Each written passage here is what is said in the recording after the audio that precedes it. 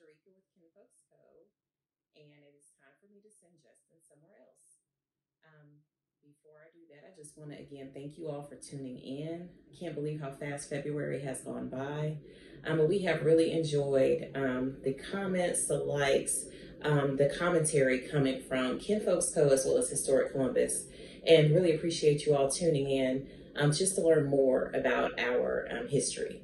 And so um, continue to follow us, um, Kinfolx Co., Historic Columbus. Um, don't let February stop you in wanting to learn more about Black history. Black History is 365, and it also is all of our history. So just keep following our pages to learn more.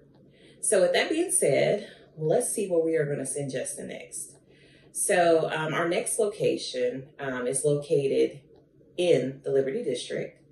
Um, this may very well be one of the oldest Black owned businesses in our city. And um, it was located near Top Hat Cafe. So those are your hints. Tune in to see where Justin is going on Tuesdays with Justin.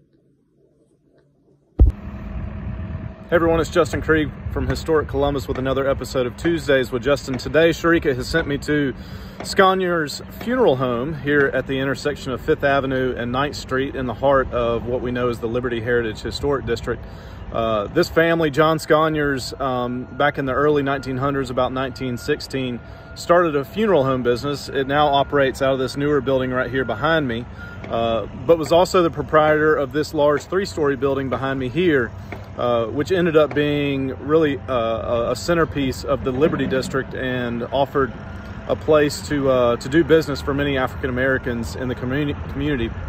The building housed uh, different professional services, insurance underwriters, a bank, as well as on the third floor it featured uh, a community room and auditorium space where different lodges and community events could be held. But this building and the Sconiers family have been operating since 1916 and is the longest running African American business that's still in operation today here in Columbus. With that, we will see you next Tuesday.